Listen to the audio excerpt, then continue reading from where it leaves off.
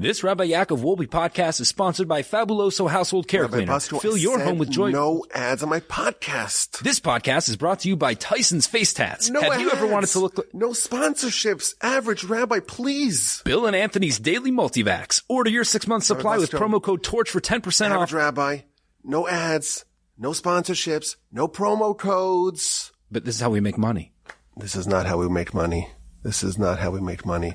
I will not subject my podcast listeners, the listeners that I love, the listeners that want to come hear Torah and hear words of wisdom and learn about their heritage and learn about Jewish history and learn about Jewish values and connect themselves with the Almighty and connect themselves with His Torah and deepen their bond with their soul. I'm not going to have readouts. Rabbi Basto, my dear colleague, I'm not going to do it. Rabbi Wolbe, we have bills to pay. Ah. So what's the other option? Is there anything else we could do? We need help. Oh, okay. Well, maybe we, maybe we do something else. You see, most podcasts, they have to pay their bills and they have ads and they have readouts and they have promo codes and they have Dollar Shave Club and Geico and mattresses. I don't want to sell you mattresses. I want to give you what you come for. I want to give you Torah. I want to give you wisdom from the Almighty. I want to give you a connection with our glorious religion and glorious heritage. But we need to pay our bills. So what we do is that we don't do any ads, no ads. No, no matter how much the average rabbi, my colleague Rabbi Busto, insists on doing ads, insists on doing these promo codes, none of that. We do an annual fundraiser, and that's happening right now. And the website for that is givetorch.org. Give, the word give, to give. Give your heart. Give your soul. Give a little boost, a little bit of love to Torch. GiveTorch.org. It's happening right now. Every donation is doubled. This is our only annual fundraiser. We do this once a year. Until next year, you're not going to hear about this. It's happening now. If you, if you're hearing this right now, you should know that it's still active. Every donation is doubled. And yes, Rabbi Busto, he's insistent. He's insistent. Are you insistent? Well, If there's a a better little solution. bit. I do like the multivax. Yeah, okay. Maybe we'll maybe we'll, we'll make a little exception for that. But no ads. That that's the plan. We've done now podcasts since 2012, 12 years, and we're committed to this. We're committed to connecting Jews and Judaism locally in Houston and globally throughout our podcast and the many other digital offerings that we have here at Torch. We do one fundraiser a year, and we want your support. Visit givetorch.org right now. Press pause on the podcast. Press pause. Stop the podcast. GiveTorch.org. Make a donation. And then you know for the rest of the year, you are partnering with us. We're not going to bombard you with ads. We're not going to bombard, you with fundraising emails every day, every week, every month. Once a year, we try to get everyone to give, everyone to contribute. If you appreciate our work, if you enjoy our work, if you want to support our work, if you want to support the great rabbis here at the Torch Center, Rabbi Busto, the average rabbi, and everyone else that's over here and all the incredible work that we do here from the Torch Center Houston, Texas, visit givetorch.org right now and make a donation. Show us some love. We're not gonna, we're not gonna drive you crazy. Make the donation. Of course, my email address is rabbiwolbe@gmail.com and that website again, givetorch.org with the help of the Almighty. Thank you, Hashem, for our health and for giving us the ability to study Torah together each week. We are in the Torch Center, and this is this week's Parsha podcast. It's year eight of the Parsha podcast. I am your host. My name is Yaakov Wolbe. You can email me, rabbiwolbe at gmail.com. We study together every week to try to go deep and deeper into the Parsha. And of course, we are dedicating our studies today in the merit of our brothers and sisters who are currently being held hostage by the murderous terrorists in Gaza. We hope to hear only good news from them and from the rest of our brethren in Israel and abroad. It's been a very busy week here at the Torch Center. On Sunday, we released the episode with Dr. Kritz, who visited Israel on an intensive three and a half day solidarity mission. And he shared with us what he learned and what he saw. And just yesterday, we recorded the second episode of the exclusive Torch Insider podcast. It's a completely new format. It's exclusive. It's invite only. Cause the kinds of things that we discuss are, are, are just, they're not for a public forum. It's designed only for Torch insiders. And the only way to access it is via a special invitation link that is emailed directly to the user. So far we have about a dozen beta testers and the reviews are absolutely rapturous.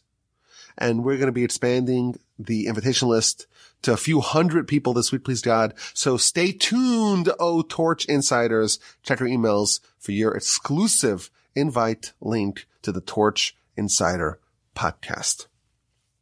We have an amazing parsha. It's Parshas Tetzaveh. And for this week's Parsha podcast, I have three interesting segments. Join us as we go, Dad. We go deep and deeper in Parshas Tetzaveh, of course.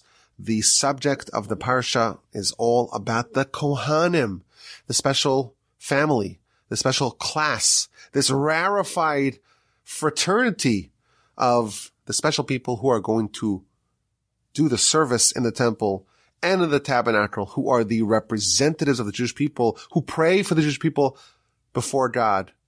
These are the most lofty and elevated family amongst our people. And it begins in our parsha where Aaron and Aaron's sons are selected and designated from amongst the nation. And Moshe is told to set them aside, to designate them Aaron and his four sons. They are Kohanim and they have special garments, garments of glory and splendor. And the artisans and the talented craftsmen, they should make these very special, exquisite garments. And these should be placed upon Aaron and that will render him, that will elevate him, that will consecrate him as a Kohen. And that is the beginning of the Parsha. Then we have towards the end of the Parsha, we have the special regiment of what needs to be done during the week of inauguration to actually consecrate and inaugurate both the tabernacle and Aaron and his sons as the priests. And this is a subject that we will revisit, of course, several times uh, going forward in the Torah. The tabernacle will be assembled and be ready. And on the 23rd day of Adar, so a little bit more than 11 months after the Exodus. It's going to be inaugurated. There's going to be seven days of inauguration when, where Moshe is going to serve as the high priest. He's going to wear the special garments. He's going to do all the special services. And Aaron and his sons are going to be waiting in the wings. And then on day eight, which is going to correspond to the first day of Nisan.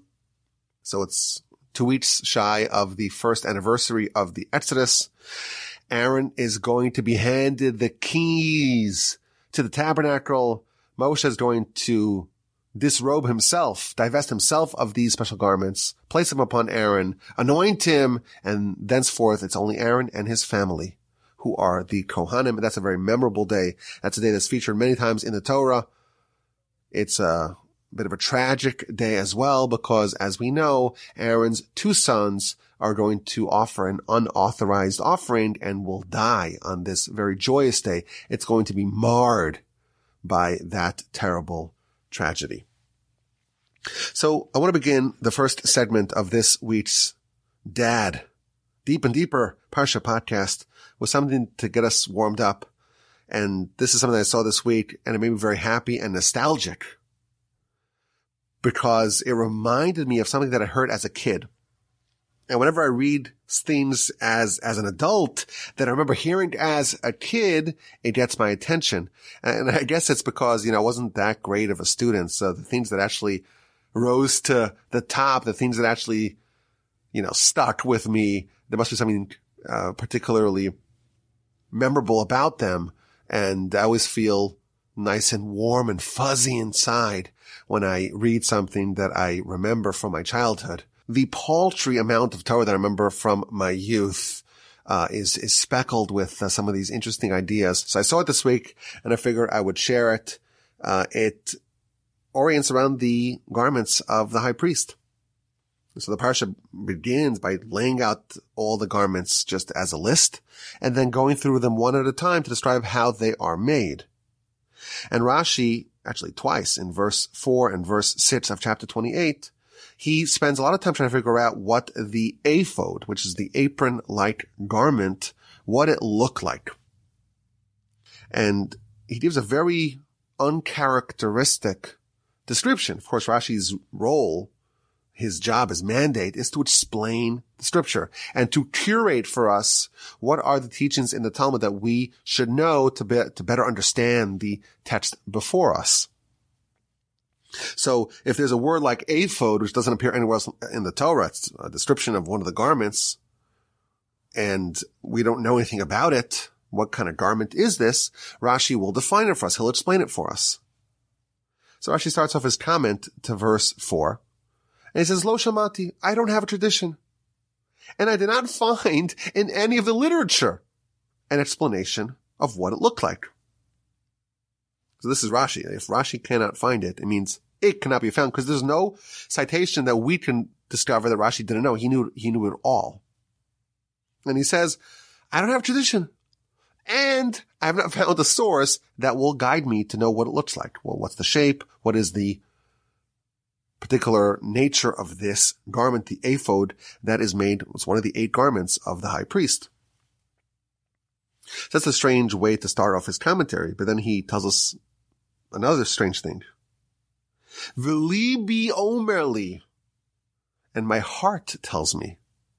So Rashi's like, uh, okay, if I'm going to translate something, I'm going to explain something, I'll go to the tradition and I'll go to the sources. But if I don't have the tradition or the sources, I'll have to just speculate and I will go to my heart. And this is what my heart tells me. And he starts to explain that it is like an apron that has a belt that, that come, that attaches in the front or that gets tied in the front, but it's sourced in the back. So you have like a garment that's just covers the back. And then there's just from the back, there are two little strings that are like a belt that get tied in the front.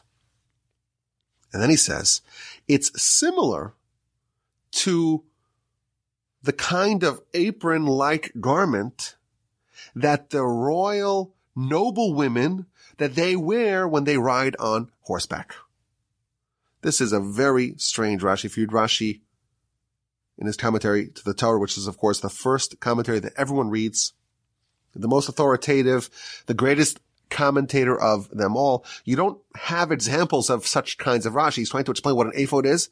And he says, I, I, I don't know. I don't have a tradition. I, the sources don't tell me. My heart tells me it's like this. And then he says it's, it's kind of like the garments that women wear, the noble women they wear when they go horseback riding.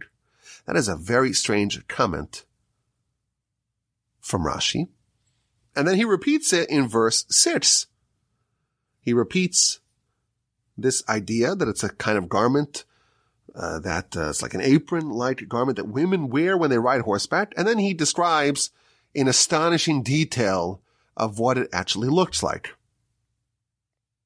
But the first sentence is kind of seems really out of place.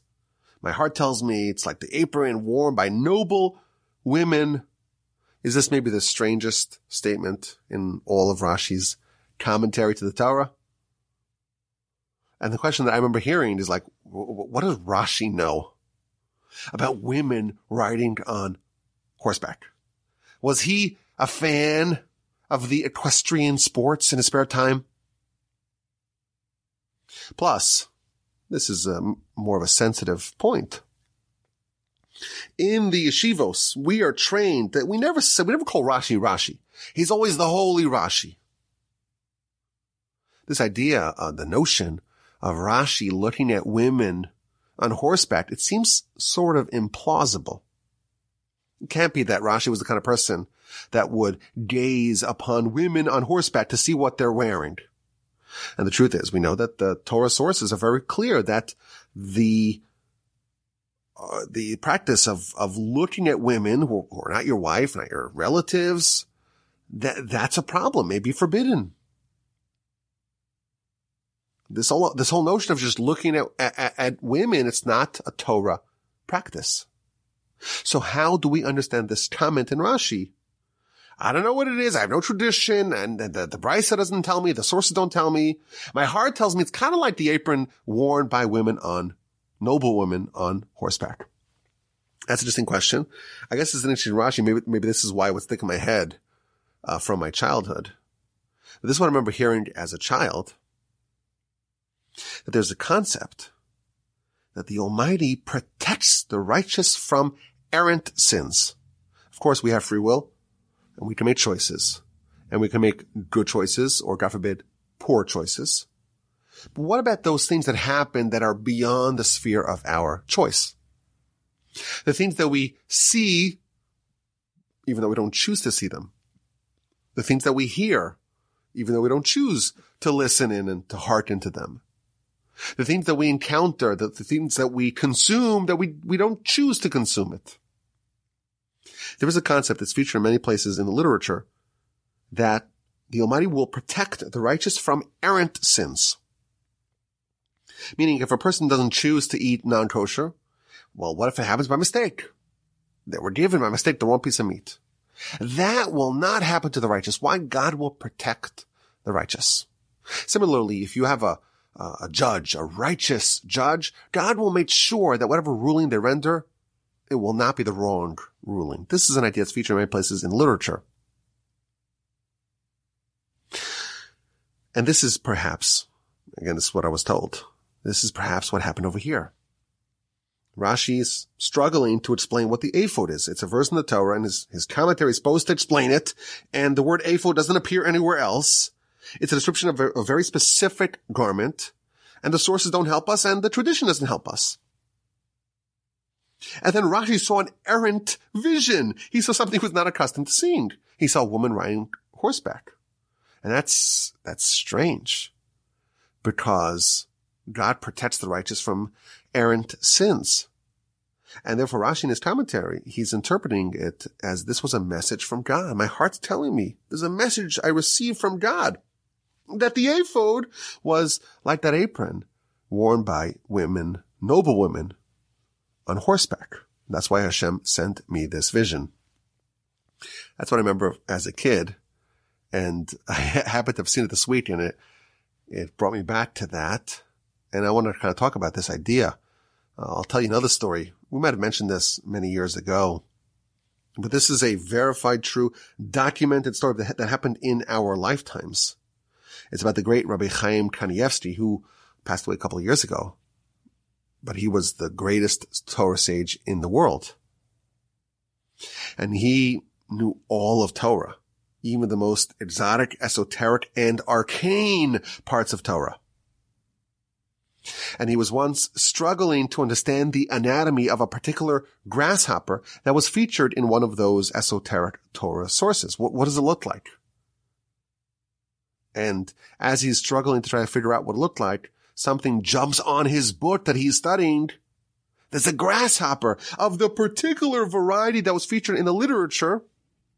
And this was not something that was brought to disturb him, but to serve as a divine aid.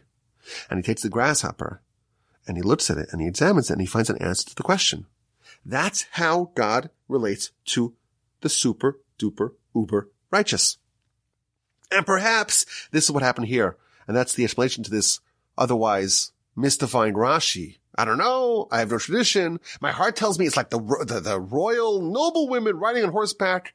That is what I was told. And that is, uh, I think a beautiful idea that I wanted to share with you. And then when I saw this concept this week and it reminded me of what I heard as a child, they also brought another story. And I'm not much for stories. I'm not great. I'm not a great storyteller, but this one I really liked. It says about uh, a woman who, unfortunately, her her husband absconded, and she's stuck because she doesn't know where her husband is, and he fled, and they looked everywhere and she goes to the great rabbi and she starts crying, help me, rabbi. My husband absconded. He left. He fled. We looked everywhere. We don't know where to find him. Maybe, oh great rabbi, you could summon some of the divine inspiration, use your low level prophecy, discover, reveal to me where my husband is. So the rabbi says, well, you know, there's this house in town where visitors come and they could stay there for free. This uh, many Jewish communities have uh, like a like a home which is designated for visitors. Go check over there. Maybe, maybe, maybe he's there. So she goes there and she, to her astonishment, she finds her husband. And the whole city was in an uproar. Wow, what a story. Our rabbi is such a sage. He has such a close connection with the Almighty. And he was able to reveal just, he just, how does he know the answer? He doesn't know this woman is. And he certainly doesn't know who her husband is. He doesn't know, and he just points, he's like, go there and go find him. And he's, and she goes there and they find him and she resolves all of her problems. He must be a real holy man and he must have some degree of prophecy. So when the great rabbi hears this, he says, no, no, you don't understand. This is not prophecy. This is not divine inspiration. I'll tell you what happened. Every day, I go to the study hall to go study Torah. And I try not to just study Torah in the study hall. You know, some people, they don't study at all. And then you have other people that they go to the study hall to study. And the, the greatest amongst us, they don't need to be in the study hall to study. They're always studying. Their, the mind's always engaged in this, the pursuit of Torah. So the rabbi is saying, my, my policy that I always do is when I, I try, when I'm walking, when I'm traveling, I'm, my mind's always thinking about matters of Torah. But as I'm walking today, I, I hear two people talking and they're talking about this new mysterious guest that arrived at the communal home of hospitality and the rabbi's like, I don't want to hear the conversation. It doesn't interest me. It's not none of my business. And I tried to get my mind to go back to thinking about Torah, but I couldn't concentrate on that. And I was trying to figure out why would Hashem, why would the Almighty have this intrusive conversation in my pursuit of Torah study? Shouldn't he clear that away? Why did I sin that I merited, that I warranted, that I was deserving to have this disruption of my stream of consciousness, my my line of thinking in matters of Torah. Okay, that's the question that he had. And then he went home and this woman comes and she says, where's my husband? So I said, well, maybe that's what Hashem was telling me. And then maybe that was the message. Maybe that's her husband. And that's why Hashem had this, this errant thought or this, this errant little bit of knowledge that uh, interjected, that elbowed its way into my otherwise uninterrupted Torah study. And I just sent her there and that's where she found him. Now again, this is a nice idea. It's something that I heard as a child. I like it. I believe it. It's a side point on the Parsha. I found it fascinating and it's a good lesson for us to know that there are people who are operating on a much higher level. And for them, it's not just the conscious choices that they make are going to be righteous and on point. When someone takes the effort to make sure that you know, they're, they're achieving as much of perfection as possible. Whatever is in their control, they're going to monitor, make sure that it's perfectly righteous and in line with the will of God. Then all those things that are outside of their control, the Almighty will make sure that he'll, he'll cover that for them. And that's a larger theme. We see it in a few places, many places really in the literature. If you do 100% of what you can, then the things that you cannot govern well, God will take care of that. And there won't be anything that you wouldn't have chosen to know that God will bring into your purview uh, unless it is actually beneficial for your agenda. Segment number one, a bit of nostalgia. We like nostalgia here on the Parsha podcast. It's okay, especially when you remember the things that, uh, one of the very, very, very small amount of things you remember as a youth. But let us proceed we have the high priest. And we have his eight special garments. And really the, the whole parsha is about the Kohen Gadol, the high priest. And his accoutrements and paraphernalia and the coronation ceremony, the inauguration, the consecration ceremony. And I was thinking, you know, most of us, we're not Kohanim. We're not priests. So we're not eligible to be a Kohen will never, we're not part of this very special family. And even those who are part of the special family, only one person can actually be the high priest. So why is this relevant to us? Maybe we should take the parsha off. Maybe we should say, you know what? There ain't no lessons for us over here. I'm not a Cohen after all. Wake me up when Leviticus ends. Uh, wake me up for the more exciting, so to speak, parts of the Torah. There has to be some sort of lesson, some sort of takeaway for us from the descriptions of the high priest and the priesthood in general and the garments of the high priest. What's that lesson for us? So I want to suggest an approach that uh, is a, a little bit of a deeper understanding into this part of the Torah, the garments of the high priest, and in general, the whole notion of the priesthood of Aaron and his sons. So we have these garments. Garments that are made by these very talented artisans and craftsmen, lechavod v'lesifaras, for honor and for glory and for splendor. The Talmud gives us an amazing story about a Gentile, a non-Jew. And he happened to walk by, he walked by the uh, house of study, the academy. And he hears the, the, the Jewish Torah teacher teaching the kids and they're learning our Parsha. And the teacher wants to animate and bring the story alive. So he describes all these incredibly intricate and beautiful and gorgeous and splendorous, wondrous garments of the high priest.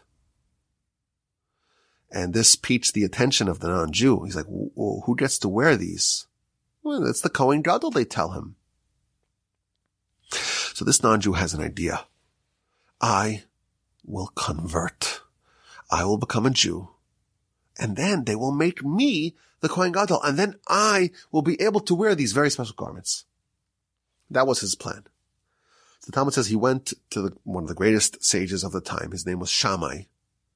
And he says, please, I would like to be converted to become a Jew in order that I am appointed as the high priest. Now, of course, this is, this is a, a, a total fantasy because even if you convert, you cannot become a descendant, a direct descendant of Aaron unless you are a direct descendant of Aaron. And therefore there's nothing that you can do that would render you eligible for the priesthood, much less the high priesthood. Even Jews for thousand, a thousand years, three thousand years, forever. If you're not from this family, it doesn't matter. So Shammai got very frustrated with this guy. He takes a, a brick, the Talmud tells us, and he pushes him away.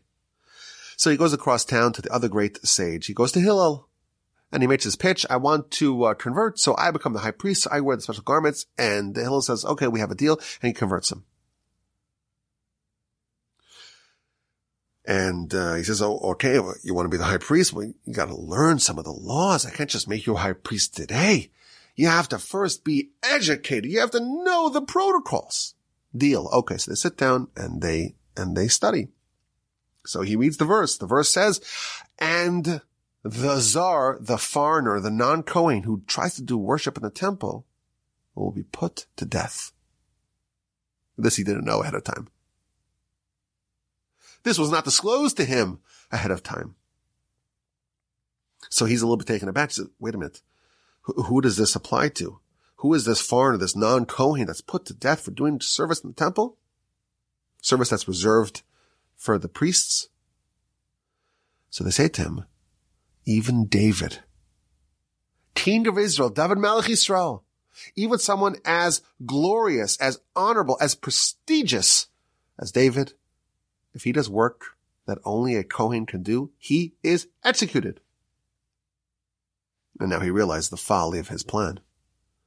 Jewish people, they're like the sons of Hashem. They're, they're called my son, my firstborn, O Israel. They're so close to Hashem. Yet the non-Kohen can't do any work in the temple. What, what am I? my father, my mother, not, I don't have nothing. I don't have that pedigree. I certainly have no business being or consider myself a candidate for the high priesthood. So he went back to Shammai and says, I, I retract my demand or my interest in being a high priest. But they went to Hillel and says, Hill, I am very happy that you didn't push me away because now I'm happy to be a Jew. And, uh, even though I'm going to forfeit, I'm being a high priest. So this is interesting. We have, of course, the, the, the, the story is fascinating on so many different fronts. This is featured in the Talmud in the book of Shabbos on page 31a, which is the same book of Talmud that talks about Hillel and the convert who wants to learn all of Torah while balancing on one leg. But here we have a story of a convert or a prospective convert who wants to join the Jewish people because he is, he's so taken by the glory and the majesty of these special garments. Now, ultimately, he's happy not wearing them. But this is, I think, a perspective that many people would have about this part of the Torah. These are such wonderful garments. They're so glorious. They're so gorgeous. They're so striking. And we may think that, you know, this is what a Kohen is. That they have all the honor. They have the prestige. And Rashi tells us otherwise. What is the definition of priesthood?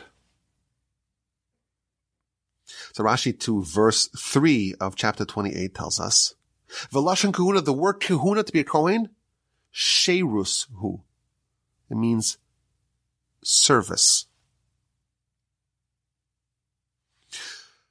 The notion of service, it's a very different idea than what this Gentile wanted. He didn't want to go into service. He wanted the honor. He wanted the prestige. He wanted the glory. And it seems like there's maybe two different ways to view the Kohen. There's the way he viewed it when he was desirous of converting. And then Rashi is telling us that really it's about service. In a couple of months, we're going to read about Korach. Korach was a Levite like Moshe and Aaron, but he was passed over for some promotions and he launches a rebellion a mutiny, an insurrection against Moshe, against Aaron, against the entire establishment. And he's levying a claim that Moshe and his brother are taking all the glory for themselves. Why should Aaron be the high priest? I should be the high priest. Why should he have all the glory? Why are you lording over the people? Why are you superior to me? Why do you maintain supremacy over me? Are you better than me? Are you worthier than me? What does a Kohen represent? What do these garments represent? In the eyes of this convert, before he converted, in the eyes of Korach, they represent a certain superiority, a certain nobility of glory and honor that makes this person tower above others by dint of them having this designation. And what Rashi's saying to be a Kohen is, is to be in service and these garments were a form of service. Service of God and service on behalf of the Jewish people. And the Talmud goes through each one of these garments and says that each of these garments, it wasn't just something that you wore. It was a form of prayer. It was a form of penitence. It was a form of repentance. And it goes through the Talmud in the book of Zevachim on page 88b tells us that each one of these garments was a form of prayer and repentance for a different class of sins. So the tunic, that atoned for murder, and the breeches, the pants, that atoned for illicit sexual immorality, and the hat that atoned for pride. And the, the sash, the belt, that atoned for the murmurings of the heart, the sins that happen in the heart. And the choshen, the breastplate, that atoned for improper judgment, improper jurisprudence. And the ephod, the aforementioned apron-like garment, that atoned for idolatry. And the me'il, the robe, that atoned for lashon hara. And the tzitz, that special plate of gold that went on the forehead of the high priest, that atoned for brazenness. So if we were to look at these garments, we would like, wow, look at that high priest. Look how glorious and, and look at the splendor of that garments. And that's true. But the Talmud is revealing to us that this was a form of service.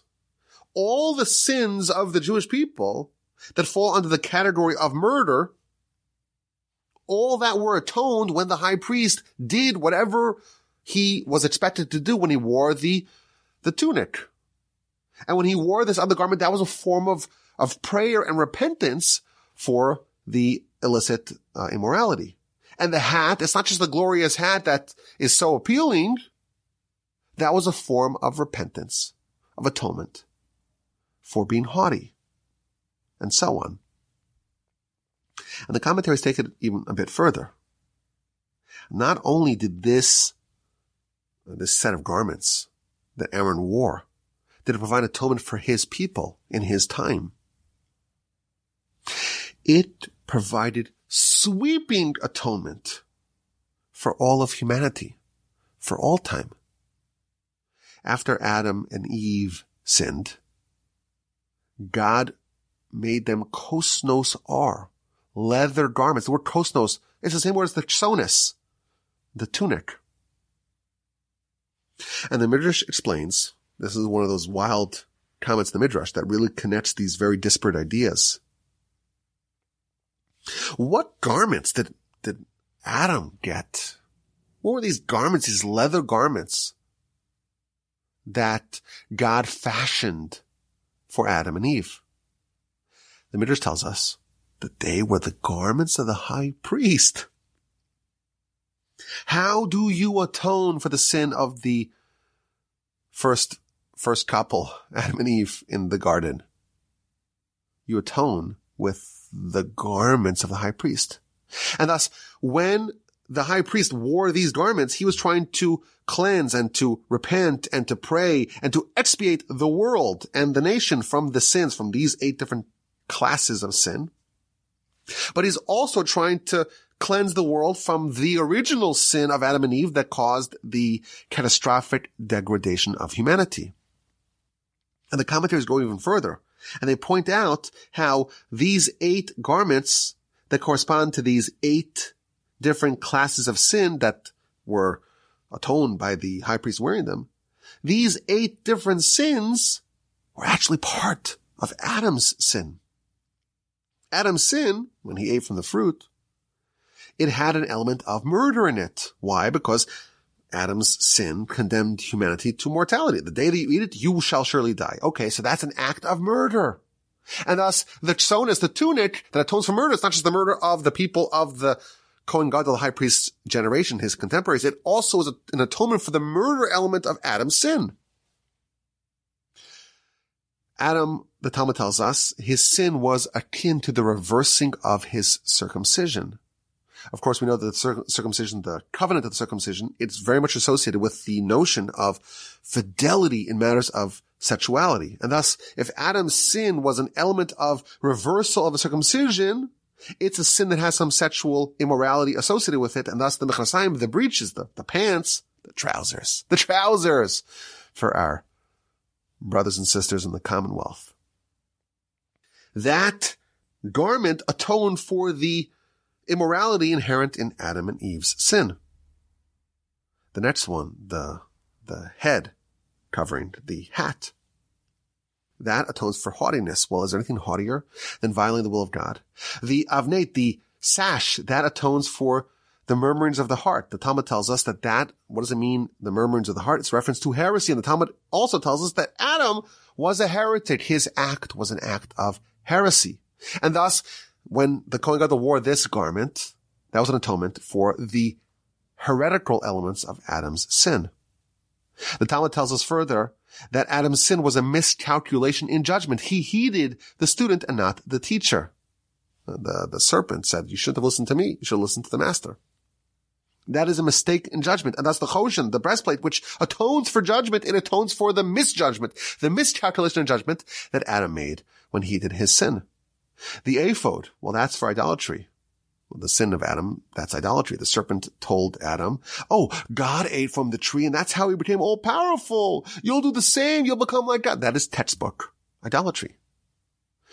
Adam accepted Lashon Hara about God, and thus the robe atones for that.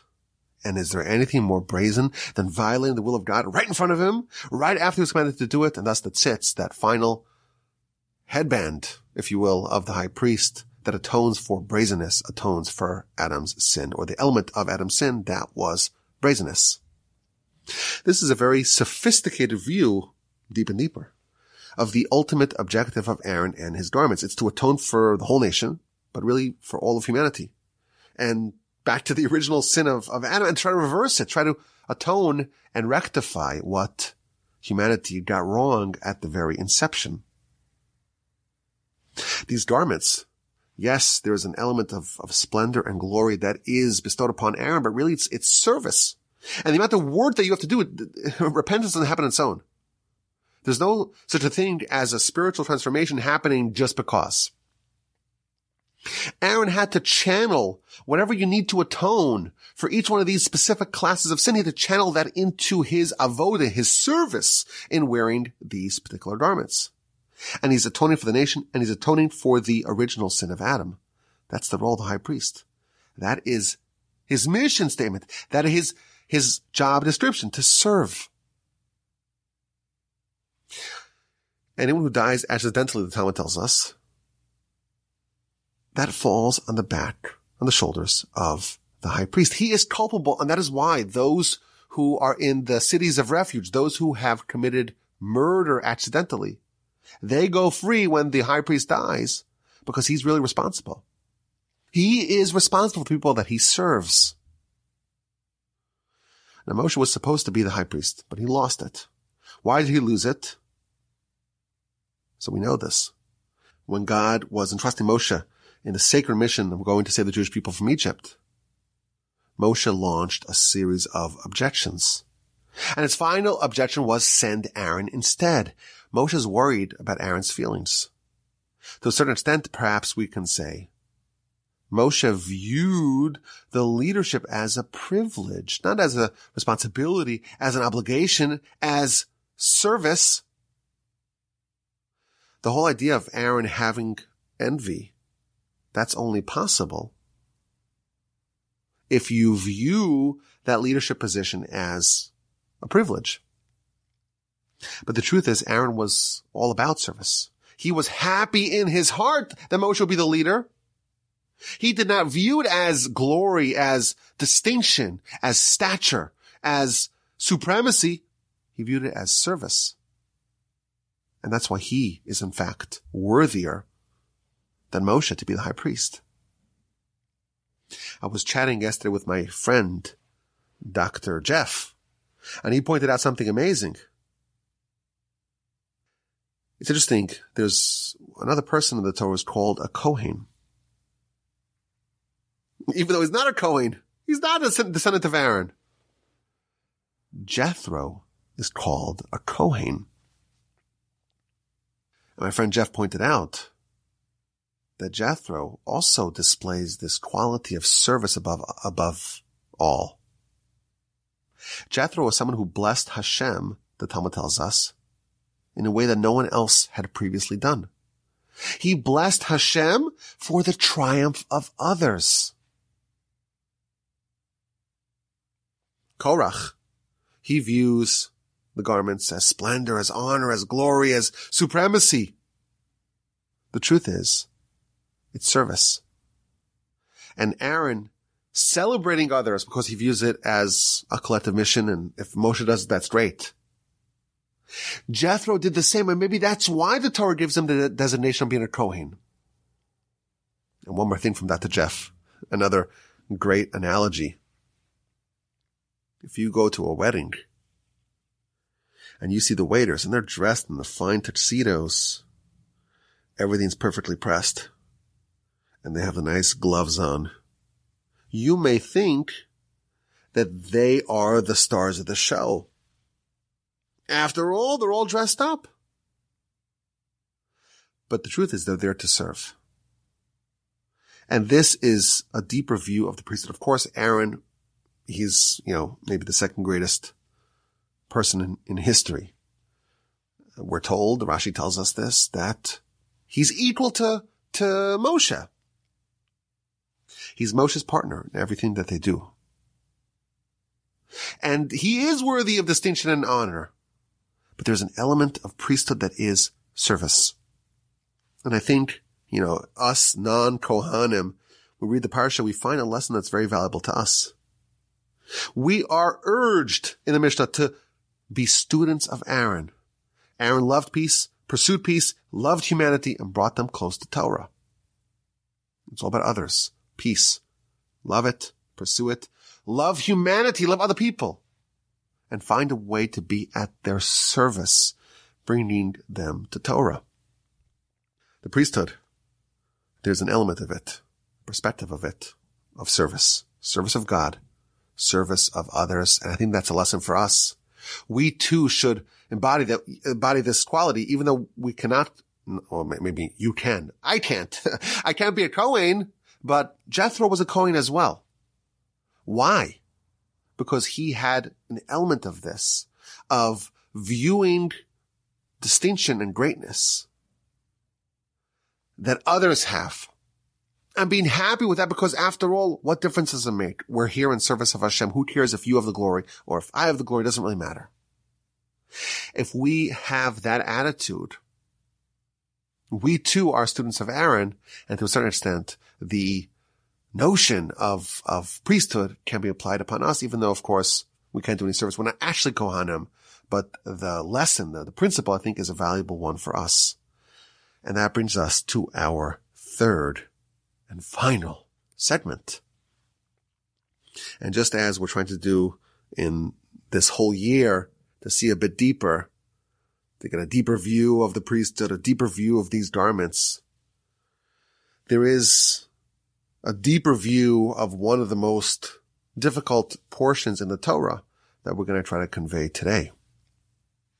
So chapter 29 begins the outline of the inauguration ceremonies of the tabernacle. And verse 1 we read, this is what you should do to sanctify them. So they, they can serve as Kohanim. They can serve before me. And it lists the various sacrifices that Aaron must bring on the eighth day of the inauguration, on that day of that handover. When Moshe retires permanently as a priest and he consecrates Aaron and his sons, he anoints them with special anointment oil. They are the priests going forward there are a series of sacrifices that they must bring. Now this will not be done until much later, the book of Leviticus. Seven days they're under Moshe. He assembles, disassembles the tabernacle, the the future Kohanim, Aaron and his sons are in waiting. Moshe wears for these seven days, he wears the garments of the high priest, does all the services of the high priest. And then on day eight, we have the handover to Aaron and his sons, and they, going forward, they're going to be forever the priests. And this, again, the memorable day, memorable day, the first day of Nisan, almost a year after the Exodus, a day that is tinged with tragedy because Aaron's two sons bring that unauthorized offering and are struck and killed by a heavenly fire. But it lists over here some of the sacrifices that are brought on this day. And the first sacrifice that is mentioned, par echad. Par echad. One bull. Why does Aaron, on day eight of the inauguration, which is really day one of his tenure as the high priest, why does he bring a bull? So Rashi tells us, lechaper al maisa egal, to atone for the sin of the golden calf. And a calf, Rashi tells us, that's a bull. A calf is a baby bull. A bull is a big bull but they're the same animal. And because the sin of the golden calf, that's really what's being atoned for by the tabernacle writ large, but even by Aaron specifically. Therefore, on day one, when we inaugurate, we kickstart Aaron's tenure as a high priest in the tabernacle, he brings an offering, a sacrifice of a bull, one bull. Why? To atone for the sin of the golden calf. Calf, well, that's part of the same that's the same species. It's a bovine, baby bovine, and when it grows up, it becomes a bull. So that's what we're told here in Rashi. Now you'll notice, and the Maharal points this out, that this particular sacrifice, this bull, is brought only on day eight of these eight days of inauguration. And that's the day that Aaron takes over. Well, Moshe, he did not bring this bull during the first seven days of the inauguration, eight days because Moshe, he had no part in the sin of the golden calf. He was after all in heaven, as we know. We're going to read about the golden calf next week. And as I mentioned in the past, the chronology, at least according to Rashi, the chronology is not the way it's presented in the Torah.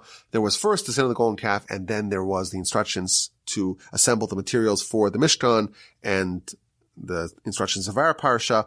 But for a variety of reasons, it was organized like this. So when the instruction to bring the bull was, was already after, chronologically after the sin of the golden calf happened. Well, who did the sin of the golden calf? It was Aaron.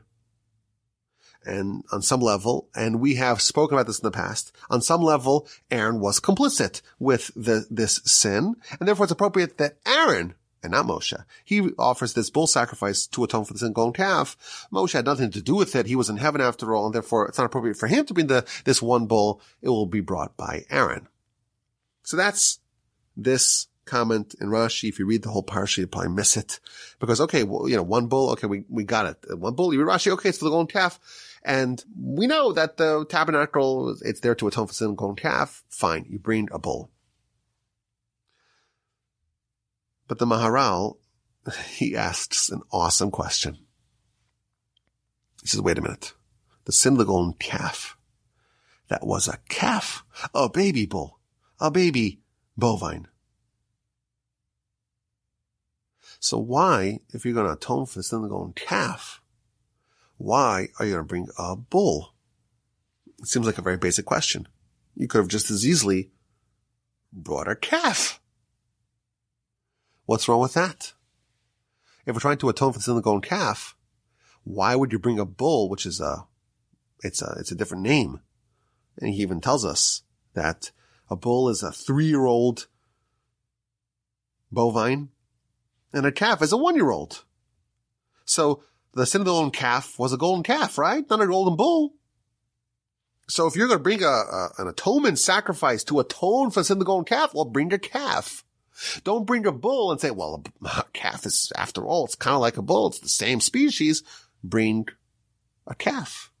What a question. Uh, but his answer is, is just amazing. You know, we think of the sin of the golden calf it's a very hard sin for us to understand. You know, this is a few weeks after the sign of Revelation. Jewish people witnessed God. God tore open the heavens, as we mentioned a few times in recent podcasts. Ata Ladas, we were shown to, uh, to know that there's only God. God tore open the heavens and he showed us there's nothing besides for God. And then there's this golden calf where it seems like the nation descends to this terrible low of idolatry. They make this golden calf to worship and they say, this is your God, O Israel, took you out of Egypt. We always have a hard time understanding the rationale of the golden calf. And we talked about this many times in the past. Well, they didn't really want an idol. They wanted a place for Moshe. It wasn't really Jewish people. It was the, the, the, uh, members of the, of the Erev Rav, the mixed multitude. Oh, and Aaron had his rationale for it because he was the priest and, and he was also a prophet and they would have killed him. It would have been unforgivable. We've spoken about this many times in the past, but still the whole notion of, of this sin, it doesn't make any sense. Listen to this. Listen to what the Maharal tells us. In the book of Ezekiel, starts off with the vision of Ezekiel. And it starts off with the chariot, the Merkava that he saw. Now I will, I will tell you, you can open up the book of Ezekiel, read chapter one, verse one, and read the whole chapter. And it's clear that what you're reading is the absolute deepest secrets that we are aware of. And in fact, when the Talmud wants to define the secrets that are totally beyond most of our comprehension, the textbook definition of that is Maisa Merkava is the episode of the chariot, the chariot that Ezekiel witnessed. And you may wonder, you know, why does Ezekiel tell us about this? Why does he share of this vision when it's completely baffling? But he does say things that we can translate we can he's the, the words that he says, even though the, the, the vision that he has is totally beyond our comprehension, there are terms that we are familiar with. So we can understand the terms, but not comprehend what they mean. And he talks about four figures. The human, the lion, the eagle, and the bull. Now again, we have no idea what this means, but these are the best words that Ezekiel found to describe his vision. Now we know that the Jewish people at Sinai, they also had a vision. On some level, they experienced prophecy. And our sages tell us that the prophecy that they experienced was something that resembled, something that was akin to what Ezekiel saw.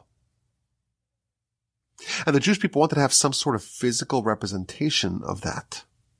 So when Moshe was around, Moshe has their physical interface between them and God. The Jewish people could ask Moshe any question in the world, and he could ask God, and thus the presence of God was felt by dint of Moshe, the man of God, Ish Elokim. He's in their midst. They have this, this touch point with Sinai. But when Moshe was gone, or at least it appeared that he was gone, they thought he was gone. They wanted to have something that was super close, so to speak, to God that will remind them of God. Again, at Sinai, they had something which changed their lives forever. They had some sort of vision that included something that resembles what we call a bull. So they sought to make a bull that would remind them of God. Now they understood that God has no image. And even the things that are close to God, so to speak, whatever vision, whatever it even means, this vision, even that, it's inappropriate. It's oxymoronic to construct an image of. Just as it's totally inappropriate and, and wrong and oxymoronic to construct an image of God, even that bull, that heavenly vision that appeared in some way to resemble a bull, that too will be too much to create an image of. So they settled they settled on a baby bovine. They made a calf. The calf would remind them of a bull, which in some way was similar to something that they saw at Sinai. And that would remind them of God and of Sinai in a way similar to the presence of Moshe when he was in their midst. So this is how he answers the question. Moshe is telling the Jewish people, Moshe is going to tell Aaron on day eight, you bring a, a bull. The first sacrifice is a bull. Why? To atone for sin of the golden calf. The calf is also a bull. Well, bring a calf, not a bull.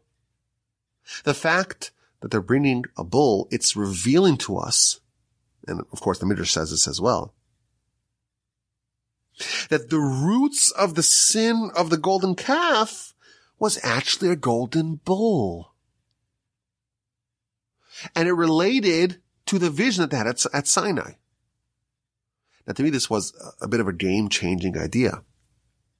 Because when you read the Torah and you read chapter 32, we're going to read it next week. You read about the sin of the golden calf and it sounds on a simple level like the nation that experienced this incredible vision of Sinai, is repudiating the vision of Sinai. And they say, no, no, no, the God that we saw at Sinai, no, we want an alternative. We want this golden calf. And that's, it's, it's completely baffling to us. And here, what the Maharal is revealing to us is that no, no, no. They never wanted to replace God. They wanted to have a certain representation of God and they wanted, or not to make a physical representation of God because that's inappropriate. And even the bull is inappropriate. So we'll make a calf. Now the truth is that's too far because we don't make a representation not of the calf, not of the bull, and certainly not of God. But to me, this was a game changer because it, it shows a certain degree of sophistication, a, much deeper perspective of what they wanted to do. And of course they went wrong, But the, the, the atonement, they brought a bull because the actual sin, it was really because they saw something that we would call a bull as Ezekiel does. That's what they saw at Sinai. That's what they wanted to perpetuate. So again, it's a much more sophisticated and nuanced and, and subtle interpretation of the sin of the golden calf. And that's what we're doing here on the Parsha podcast, year eight. We're going a bit deeper. We're seeing a little bit of different angles beneath the surface, beyond the veneer, behind the facade, backstage, in the substratum of the Parsha. That's what we're doing here in the Torch Center. And I am privileged and honored to be doing this with y'all. My email address is rabbiwolbe@gmail.com and I will bid you farewell. Have a wonderful rest of your day. A sensational, terrific, inspiring, exciting, restful, quiescent Shabbos upcoming. And please God, with the help of the Almighty in good health and in good spirits, we will once again gather together around a cackling fire and study the Parsha next week. The email address is, again, rabbiwolbe at gmail.com.